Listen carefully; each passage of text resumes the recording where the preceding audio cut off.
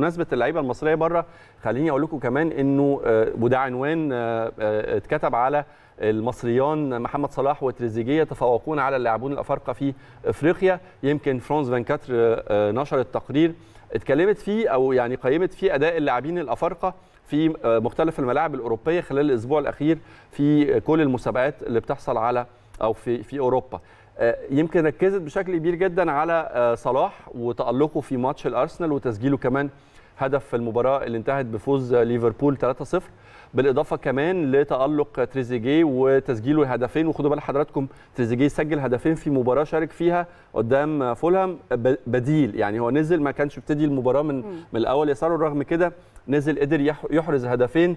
أعتقد إن هم ساهموا بشكل كبير جدا في التأكيد على نجومية تريزيجيه في فرقة أستون فيلا.